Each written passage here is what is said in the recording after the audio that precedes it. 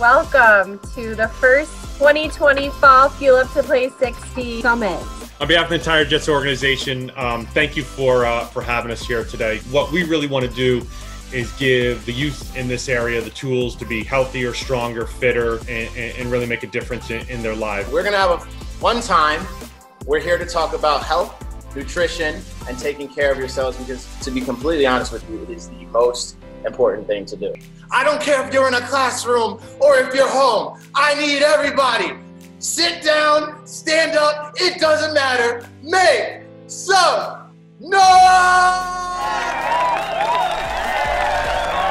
One, two, three, T. One, two, three, S. One, two, three, Jets. There you go. So we have about 2,500 cows here, and the the milk goes directly to the plant where it makes cheese, yogurt, butter, milk, all those things that we need every day for breakfast and our meals.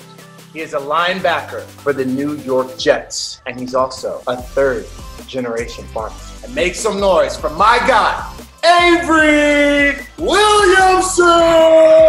When I was growing up, young, I always wanted to get my milk in, get my cereal, making sure that you're staying healthy and active. Today we're going to be learning how to make this no-bake breakfast tart. We're going to use Greek yogurt.